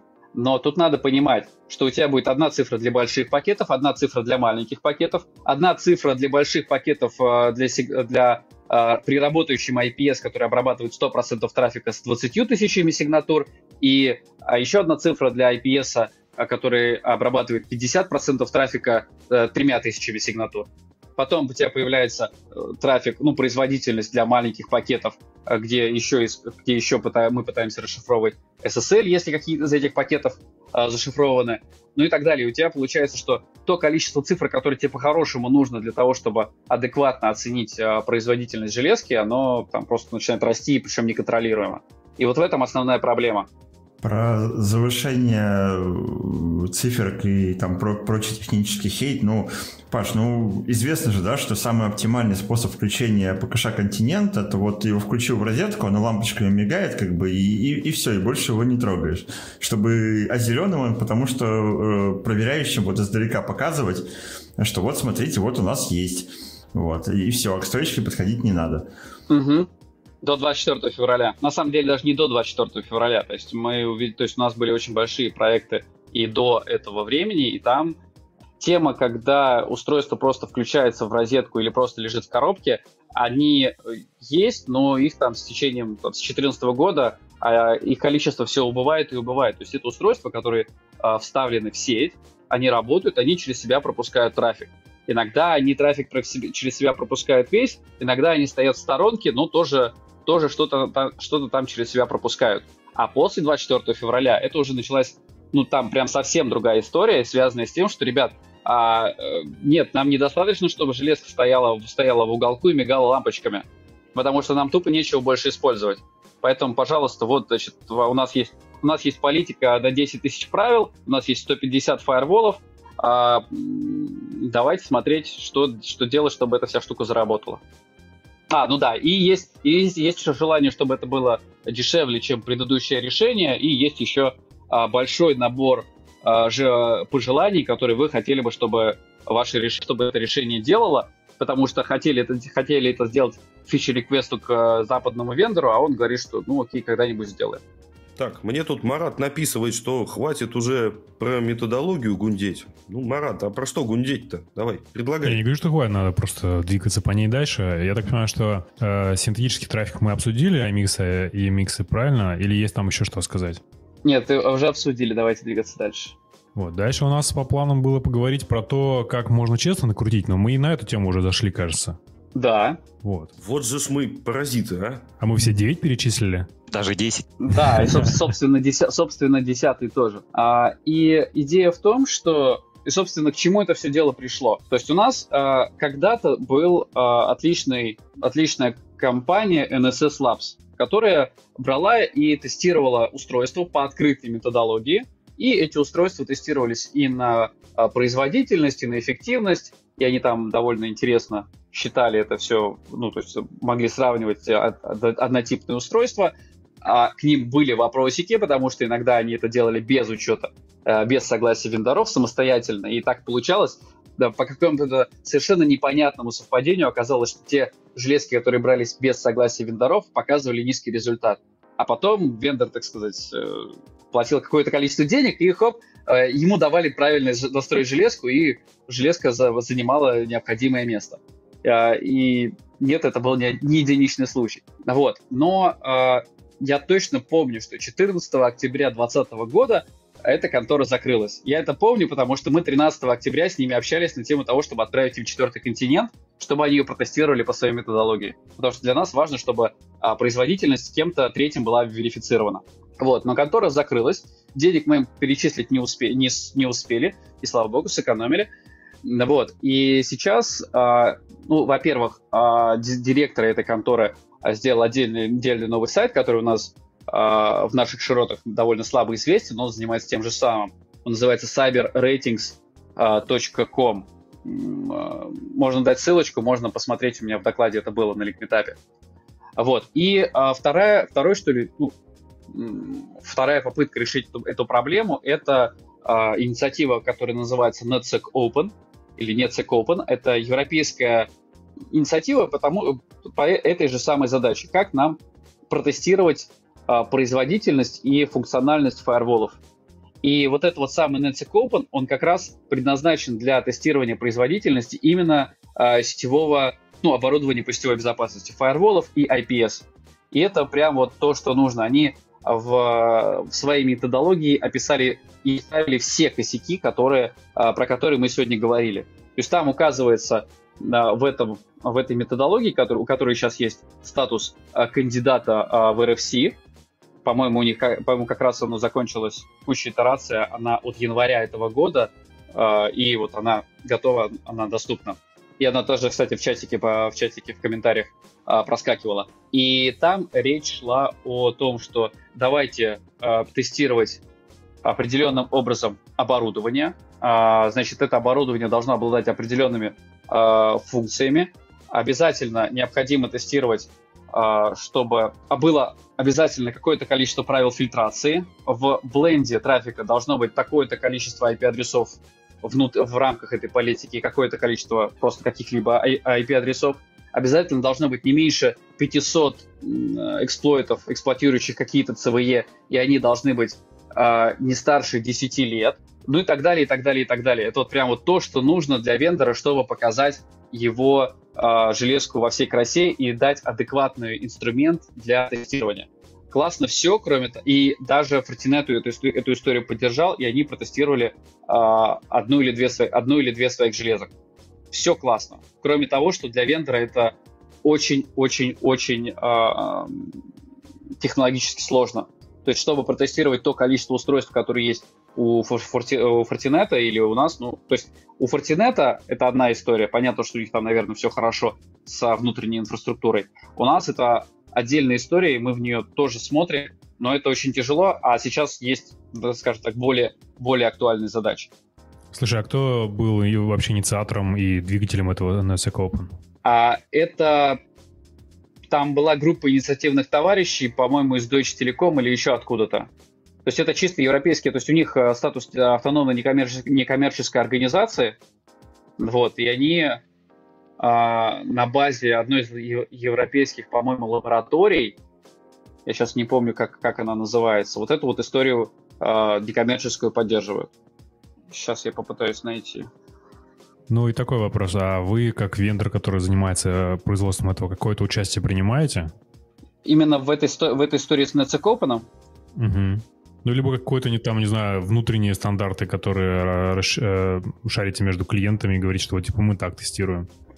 Значит, это, а, а кстати, нашел, это лаборатория EAN, EANTC.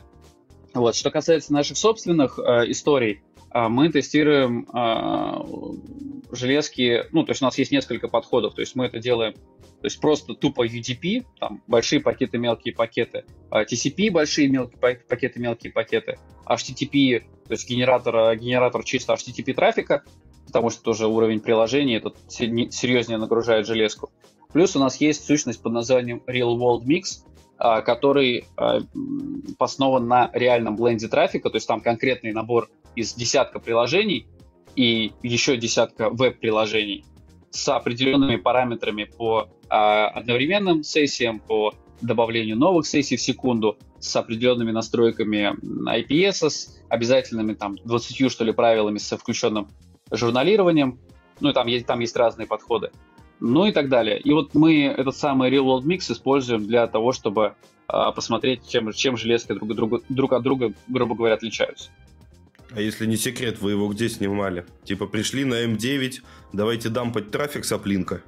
Слушай, нет, у нас, ну, у нас на этом плане э, есть куча своих тестеров, а ну и в целом мы сетевым технологиям люди не чужды, поэтому у нас есть э, довольно много людей, э, у которых есть там опыт, практический опыт работы, и они, ну и, соответственно, договорились вот таким вот образом, ну, то есть нашли вот эту вот методологию, которая лучше всего э, оценивает, ну, позволяет оценить производительность той, той или иной железки именно как фаервола. Но еще раз, надо понимать, что это там наше видение, и оно может отличаться от того, что заказчик может видеть у себя. То есть у нас бывало, бывало, бывали случаи, когда а, устройство делает там условные 20 или 40 а, гигабит в чистом, а, чистого фаерволинга, а по там, нашей вот этой вот методике Real World она дает 7 гигабит, а заказчик делает такую методологию, по которой, э, такую методику, по которой железка, дай бог, 2,5 гигабита э, прожевывает, и ей при этом плохо. А потом читаешь в интернете отзывы, да? Да, конечно, куда же без этого. И традиционный, и традиционный этот э, видео, видео мемасик со смеющимся испанцем, ну куда без этого. Ха, ну как же. Вот, кстати, просто отличнейший вопрос, опять же, из нашей же формочки. Ну когда у континента будет уже поддержка IPsec? Ну вам что, сложно, что ли? А, нам не сложно, и в 4.2, то есть в следующем, как это... У нас, знаешь, в чатике есть э, два стикера в мае и в декабре. Ну вот э, в, как, в конце первого квартала мы ожидаем эту версию с AES, э, с IPsec. То есть это можно будет работать навстречу там условной циски или кому-нибудь еще. Ну, не в Q5 уже хорошо. Это синоним. Слушайте, так, а, а если, конечно, не военная тайна, а в чем такая сложность с ним была или есть? А, ну, надо понимать, что у тебя есть когда речь идет о VPN, у тебя, во-первых, есть э, ну, протокольная часть, и, во-вторых, есть э, алгоритмы шифрования. То есть у нас, э, э, во-первых, использовался ГОСТ как алгоритм шифрования, во-вторых, у нас использовался собственный стек протоколов. Плюс оно там было, извините, симметричное. Да и сейчас, в общем-то, есть. И э, оно достаточно хорошо отлажено, и проблема в том, что есть куда потратить ресурсы, и очень тяжело было до недавнего времени э, людям показать, что да, эта фича действительно важна, и ее надо развивать.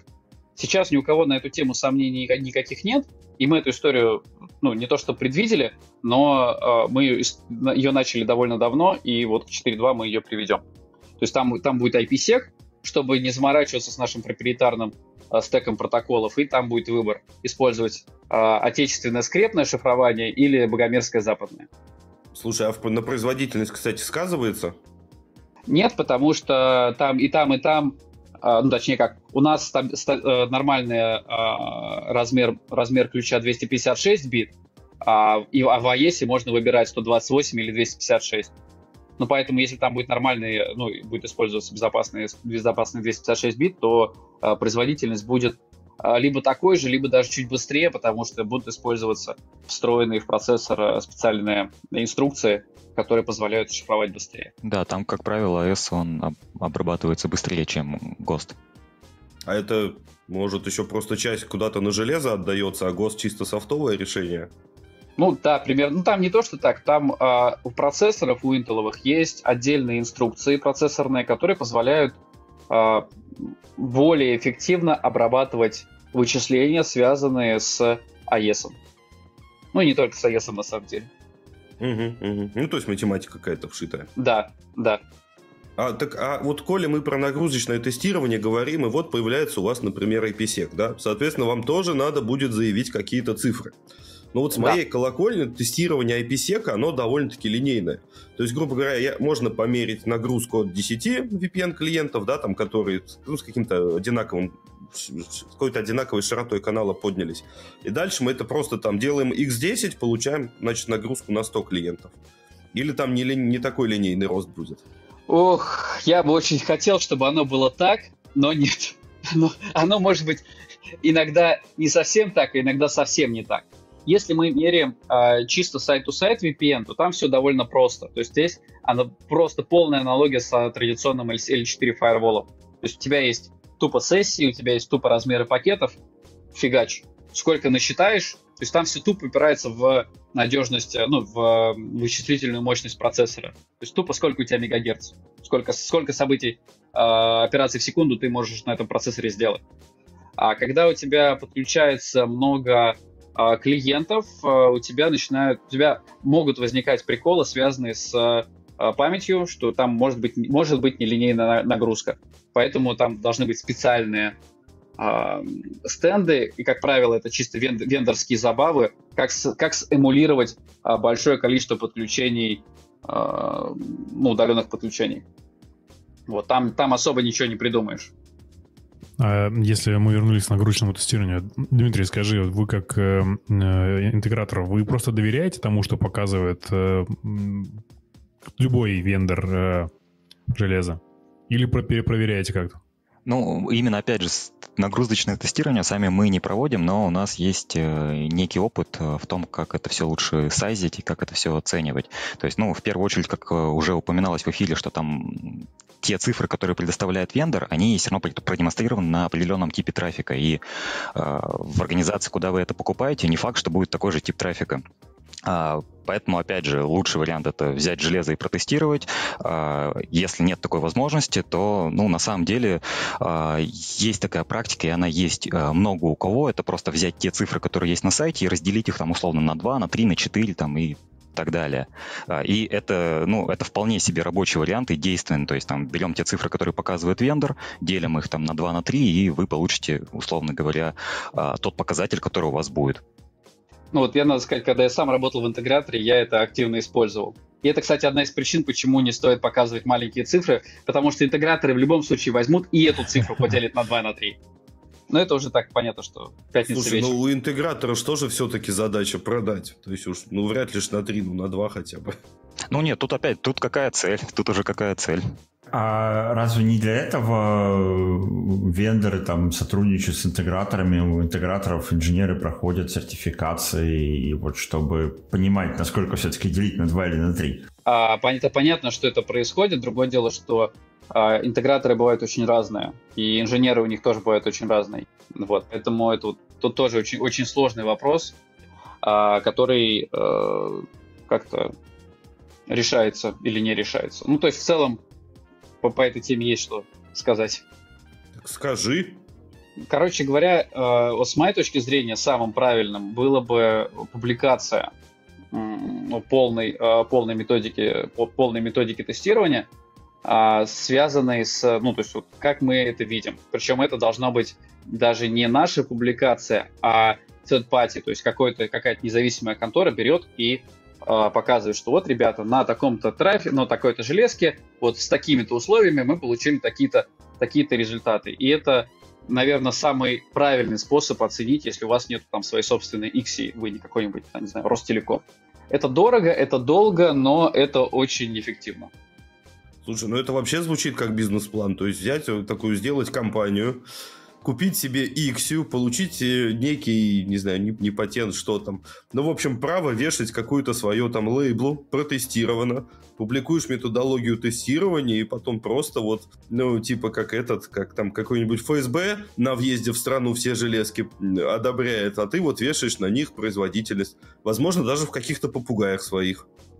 Про попугая это отдельный, отдельный вопрос, но в целом да. В целом звучит, звучит как план.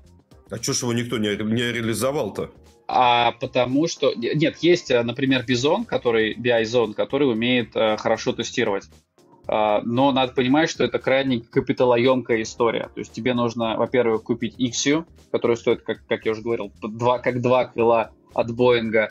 А во-вторых, тебе необходимо нанять людей, их обучить, их удержать, вот, и а, ну, продержаться до того момента, как тебя начнут кормить, хотя бы, что, хотя бы чтобы ты в ноль вышел, потому что, еще раз, это очень капиталоемкая история. А поэтому это не такая, ну, не такая частая, часто используемая в России история. Короче, наших донатов не хватит, да?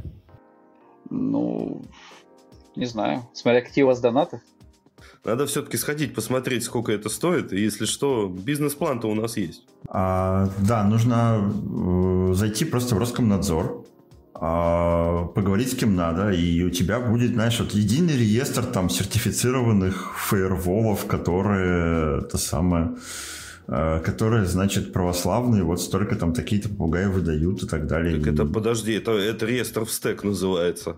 Не-не-не, а здесь Саша, здесь Саша имеет в виду именно а, то, что касается производительности, потому что реестр в стек, он, он про а, сертифицированные средства защиты, а тут будут средства защиты с подтвержденной а, с подтвержденной производительностью. Немножко да, другая вот история. Я, я вот про это и говорю, как бы, зачем какая X это, о чем? Вот просто это самое, бумажку как бы сделал нужную, э, от кого надо, и все, как бы, и как а как ты будешь мерить, как бы, тут уже? Ну, здесь надо сказать, что когда мы приходим к такой, к такой попытке регулирования рынка, надо понимать, что там э, будет своя собственная методология, и она будет, э, ох, как, ну, она может быть весьма специфической, и, э, ну, даже если там какой-то вендор эту историю инициирует, он из этого будет страдать едва ли не сильнее, чем а, все остальные. Потому что когда мы хотим, чтобы кто-то это сделал за нас, там сразу начинается куча очень интересных и зачастую не вполне, ну, короче говоря, э, куча, куча очень больших сложностей. Как ты сейчас дипломатично сказал. Я стараюсь. Ну, маркетолог все-таки. Слушай, так а я правильно понимаю, что вот уже упомянутые попугаи, они вообще невозможны в принципе? А, смотри, а, в целом история с попугаями, она интересная, и тот же чекпоинт пытался в свое время ее сделать. То есть у чекпоинта была задача, во-первых, а, ну, показать каким-то интегральным показателем, а сколько, какая производительность у их железок, а во-вторых, а, показать, а как эта производительность будет падать при включении дополнительных механизмов. А, но они так и не расшарили методологию вычисления этих самых попугаев, и эта история потихоньку умерла, и сейчас она, по-моему, не... Ну, даже чекпоинт, даже чекпоинт на нее забил. Но в целом а, история понятная. Опять же, если там тысяча инженеров соберется и сможет э, договориться, то как бы, не, как бы не повторилась так эта картинка с 14 одинаковыми стандартами, давайте сделаем один, который всех объединит. Да, 15 новых стандартов. Вот, ну вот, вот так вот мы все и живем. Так, что там, Саша, еще были вопросы, которые мы не задали? А, вот я как раз смотрю, ну, и мне кажется, что мы как-то действительно так хорошо прошлись по плану, что mm-hmm. вообще, в принципе, умудрились и, и все и обсудить, потому что, например, спрашивают, а чем IPS, ADS, э, чем являются IPS, ADS для НГФВ? Неотъемлемой частью или просто опциональной функцией? Вот здесь вот э, здесь надо сказать, что мы же периодически спрашиваем у рынка, ребят, какие вам функции нужны в фаерволе? и у нас IPS IDS э, занимает стабильное первое место. То есть, несмотря на то, что э, у меня очень сложное отношение к этому э, инструменту, потому что он требует очень, очень больших знаний, потому что он по умолчанию очень сильно фалсит, он генерирует большое количество фолс-позитивов. Чтобы он нормально работал, тебе необходимы очень серьезные процессы тестирования, э, тестирования обновлений. Ты очень хорошо должен знать свою инфраструктуру. Ник- никто не придумал ничего э, умнее и эффективнее, чем э, IPS IDS. То есть тупо, тупо смотреть трафик по сигнатурам. Самый, самый, больш, самой большой у меня болью является это потоковый антивирус, который я считаю, что не должен быть на фаерволе вообще ни в каком виде. А рынок считает наоборот. То есть у нас там большинство пользователей говорит, мы хотим именно сигнатурный движок на фаерволе. Несмотря на то, что он будет сильно, сильно э, снижать производительность и типа никого это не волнует. Я не знаю почему, я не знаю, как это, что с этим делать, но вот жизнь такая. Ну, тут на самом деле, если говорить об антивирусе в фаерволе, то опять же есть разные реализации. Это вот, например, даже по хэшам просто сверять. А, и это вполне себе нормальный метод, и он не так сильно загружает а, сам НГФВ. Ну, там, соответственно, загружается база с сигнатурами, база с хэшами и просто проверяется. И там, условно говоря, второй вариант, это как, например, реализовано у чекпоинта, это глубокая проверка. А, это очень мощный э, функционал у чекпоинта, то есть он прям действительно очень много что блокирует, прям сразу отрезает, не доводя до остальных модулей, например, до тоже даже песочницы ничего не дойдет. Но это очень сильно нагружает само железо, то есть прям в разы. И ну, стоимость тут тоже будет она гораздо больше, чем без антивируса, допустим. А если вот да, про IPS, то, что было до этого, то IPS это, безусловно, неотъемлемая часть НГФВ, и она, но она гораздо важнее, чем э, тот же потоковый антивирус. То есть антивирус-то, он может стоять у вас и на хосте. А, ну, понятно, что если вы выполняете там какие-либо требования, например, там стандарта PCI DSS, где вам нужно и хостовый антивирус, и сетевой антивирус, то да, это будет полезно, и опять же, и с этой точки зрения.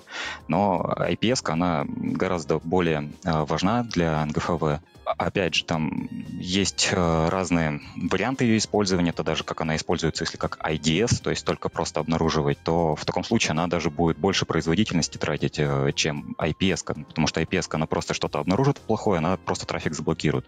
IDS же, она просто будет дальше отправлять э, алярмы о том, что, ну, обнаруживаю кстати, тут у нас телезритель Борис из Москвы спрашивает, а что у нас с DPDK или XDP или EBPF? Можно его отправить на один из предыдущих подкастов, 80 какой-то там, где мы рассказывали о, фаервол, о нашем фаерволе на DPDK. А он, кстати, взлетел, то есть это не... Это прям пошло в рынок, и вот как, какая судьба у этой модели? Потому что бывает так, что, знаешь, сначала все рассказывают, что мы придумали такую пипяку, такую пипяку, она, значит, такая вот, такая классная, а, а потом как бы вот не взлетает. Слушай, у нее сложная судьба, потому что она очень, э, сло, ну, она прикольная, но как, как и любая новая прикольная штука, она требует очень много э, ресурсов для развития. И в итоге мы поняли, что если мы ее будем развивать вот так, как мы хотим, то мы, э, собственно, основной фаервол ядерный, тот, который у нас более традиционный, вовремя не выпустим.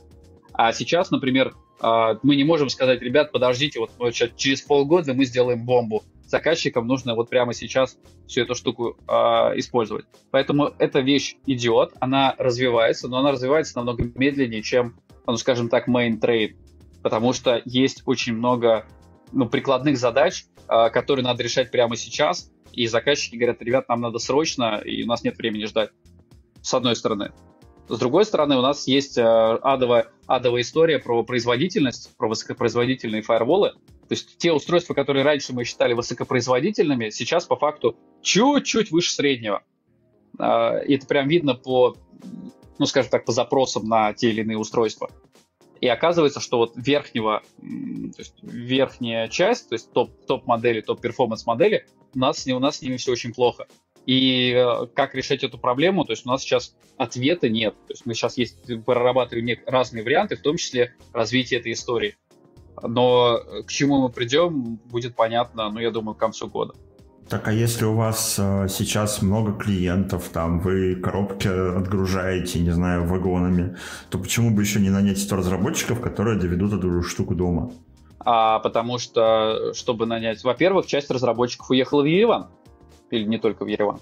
А во-вторых, э, надо понимать, что это не такой ресурс, это не... То есть у тебя разработчики линейно, то горизонтально, как в виртуалке, не масштаб... ну, на, как приложение на виртуалках не масштабируется. То есть тебе нужны очень серьезные люди с очень понятным э, бэкграундом, которых не скантил Яндекс. И которых запрыгал товарищ майор, да? Нет, которых запрыгал товарищ майор, это фиг, фиг бы с ним.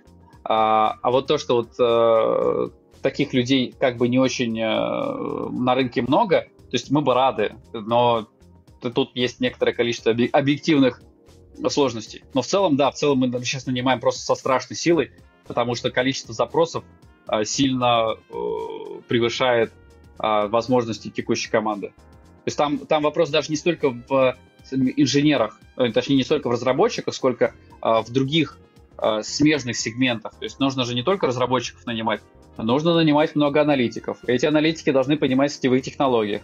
Эти аналитики должны понимать в безопасности. А у тебя должно быть такое же количество, ну, добавить тестировщиков, сделать автотесты, сделать инфраструктуру, чтобы это все работало. Потому что если ты выкатываешь новую, новую фишку э, в рынок, и она внезапно не работает, а ты по agile сейчас быстренько в следующем спринте это доделаешь, оно внезапно так не работает. И заказчики начинают сильно на эту тему э, выражать свое негодование. Ну вот, потом это все необходимо правильным образом сертифицировать, потому что э, гайки-то, под, гайки-то подзакручиваются. Вот, ну, короче говоря, вот эта вот вся э, сложность, она э, балансирует э, те, то количество запросов и то количество новых проектов, с которыми мы столкнулись за последние полгода. А, такой вопрос чуть-чуть в сторону. А, раз уж вы делаете все такие православные сертифицированные железки, а как в стек ФСБ и прочие уважаемые люди смотрят на то, что это делают люди из условного Еревана, а не сидящие нет, где-то а... здесь под боком? Нет, вот смотри, еще раз. У нас все люди сидят в Москве. То есть у нас нет такого, что эти люди сидят, сидят, сидят где-то там. В этом плане у нас все довольно понятно. Другой, я, я ждал другого вопроса. Я думал, что ты спросишь, а как в стейк ФСБ смотрит на то, что все эти железки работают на богопротивном Интеле, а не на православном э, Эльбрусе с Байкалом. Вот это вот намного более частый вопрос, когда мы говорим, вот у нас есть российский фаервол, а народ такой типа усмехается, говорит, а что, а процессоры тоже российские? Вот. Это, да, это проблема, потому что... Ну вы же наверняка пробовали что-то сделать. Не, ну мы пробовали что-то сделать. И? Ну что, у нас нет, у нас есть сборки континента, которые работают на Байкале и на Эльбрусе. Другое дело, что Байкалов и Эльбрусов нормальных нет. Ну, в России сейчас. Потому что их нигде нет. Ну, там вообще примерно-то хоть на что-то получается, ну, по производительности сделать на Байкале и Эльбрусе, или там пока все плохо? Нет, на Байкале у нас э, была нормальная железка, она была примерно в середину, э, ну, в середину нашего модельного ряда она нормально заходила. То есть у нас были, были эксперименты на арме, на большие, на армовых процессорах, на сравнительно высокопроизводительные железки делать. Но это еще раз, это были именно эксперименты, то есть оно в продакшн не пошло. Сейчас задача а, насытить рынок, а, что называется, тем, что есть прямо сейчас, и параллельно думать, а что со всем этим делать в будущем. Там злые языки уронили а, аббревиатуру RISC-V, но этого RISC-V пока э, в глаза никто не видел, то есть того RISC-V, который в России будет производиться, и какие там будут процессоры, и какие там будут фишки для того, чтобы организовывать там правильную сетевую безопасность, ну, будем посмотреть.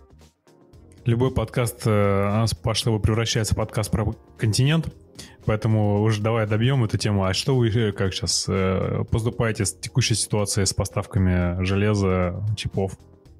Как выкручиваетесь? Ну, э, Слушай, на самом деле оно едет, оно продолжает ехать, просто немножко медленнее и немножко дороже.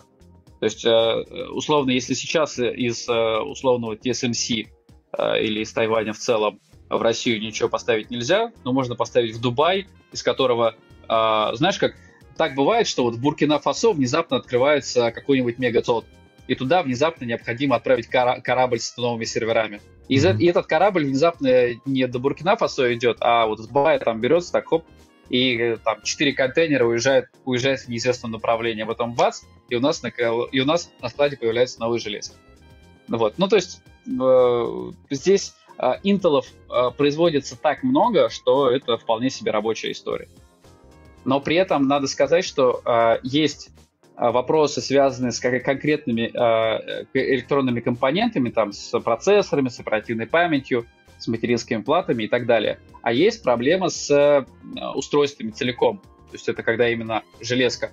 И вот здесь вот мы поняли, что надо делать все держать в своих руках, потому что вот поставки именно железок, они становятся менее прогнозируемы. То, то в Китае очередной локдаун, и они все перестают отвечать на почту, то э, производитель, с которым мы договорились, что он нам будет поставлять железо, э, занял принципиальную позицию и говорит, что нет, я, я этим товарищам ничего отгружать не буду.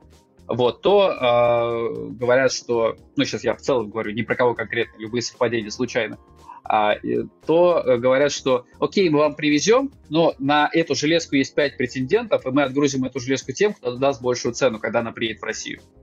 Ну вот, то есть там э, вы поняли, что э, электронные компоненты закупать можно, но собирать их надо самостоятельно. Поэтому мы именно собственное производство сейчас э, в первую очередь развиваем. То есть когда мы его разовьем, э, дальше мы будем уже, уже эту историю все расширять. Ну, корпуса-то хоть сами делаете, не из Китая везете.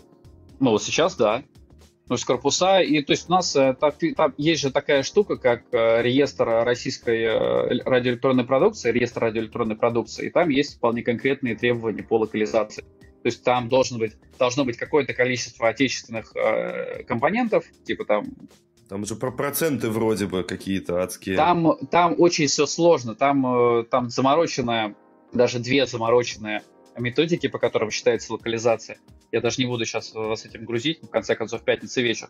Но фишка в том, что ее, ее, она, не, она не обходится, и она требует, чтобы с лицензионной точки зрения мы владели всеми правами, мы использовали э, максимум российского, ну, настолько, насколько это возможно.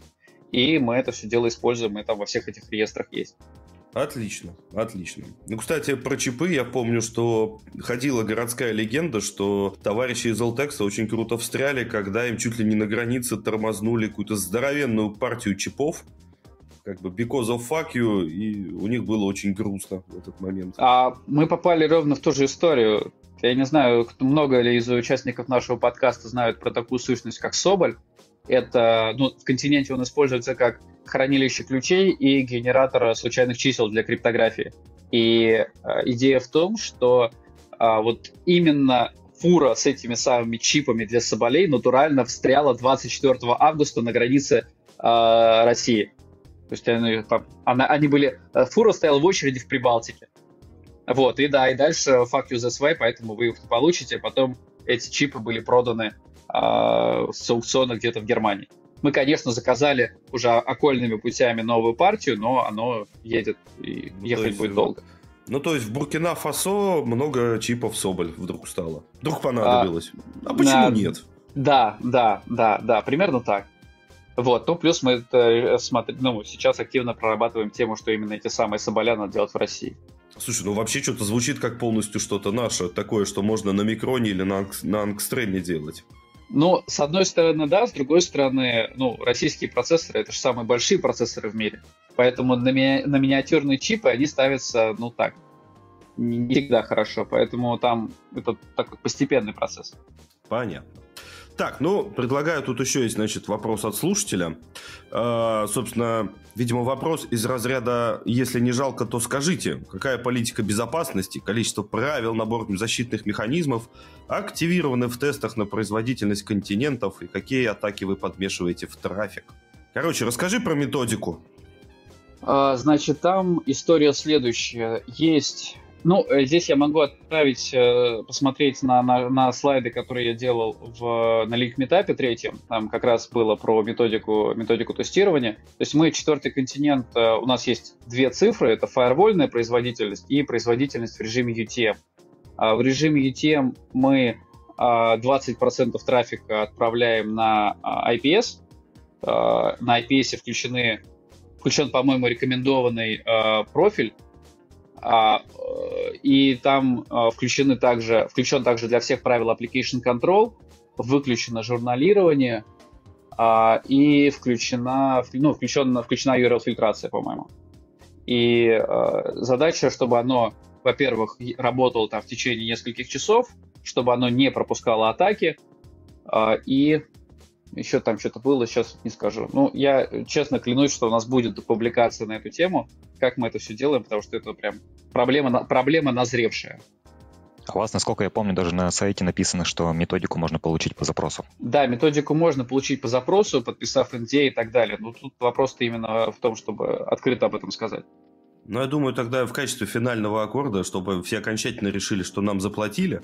Но это будет вопрос Дмитрию, чтобы Паша, как лицо аффилированное, не влезал. Вот, Дмитрий, скажи, пожалуйста, как бы ты э, оценил уровень поддержки континента, если сравнить его с Cisco Ну, вы хотели уйти от рекламы, и вы, наоборот, пришли к рекламе, потому что мы э, официальный... В смысле, там тоже индус приятным голосом просит reboot all your devices?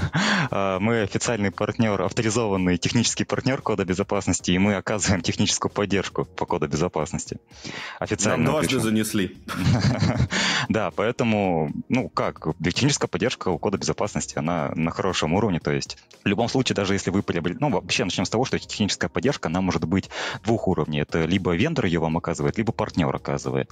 И в любом случае а, неважно, там, допустим, через партнера вы идете или через вендора напрямую, а если получается какой-то сложный запрос, там, который, ну, не получается решить силами, там, опять же, например, ошибки кода или еще что-нибудь, то запрос идет в любом случае на вендора.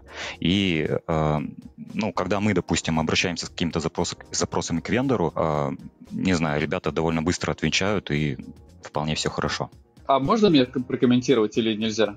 Потому что ну, не, попробуй, не попробуй, попробуй, похвали ну, потому что, а, потому что вот а, у нас э, в чатике есть два полярных мнения на тему тех, нашей техподдержки. То есть заказчики с высоким уровнем зрелости, купившие базовую техническую поддержку, адово бесятся от того, что их начинают спрашивать по чек-листу.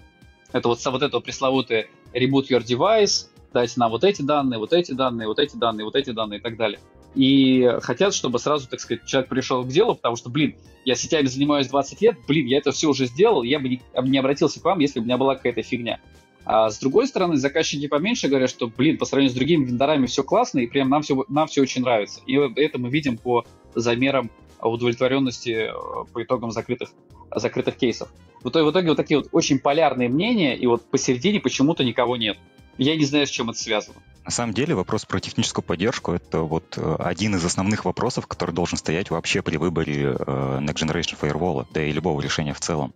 Потому как, опять же, Firewall может быть эм, лучшим, может быть там просто хорошим и так далее, но техническая поддержка там, допустим, не очень. Опять же, здесь э, отличный вариант — это вот системный интегратор, который оказывает официально техническую поддержку. А, тут есть определенно, да, свои минусы, свои плюсы, но вот опять же, как плюс, а, у нас, например, выделяется э, отдельный человек для определенного заказчика, и, соответственно, не придется ему каждый раз рассказывать, а что у вас есть в сети, а пришлите мне то, пришлите мне это. Потому что этот человек, он будет знать вашу инфраструктуру, и такие вопросы от него, наверное, уже не будут поступать. Ну что, и на этой прекрасной ноте, ну, Марат, да, я предлагаю закругляться. Все темы покрыли, э, про континент рассказали. Ребята, спасибо большое, было очень интересно. Я, правда, на половину подкаста вывалился, но на оставшуюся половину вернулся, и это было интересно. Так, э, друзья, с нами были сегодня Павел Крастелев, руководитель отдела продвижения продуктов в коде безопасности, и Дмитрий Лебедев, инженер отдела интеграции TS Solutions. Спасибо вам большое, приходите еще. Всем пока. Всем пока. Всего пока. доброго, коллеги. Пока.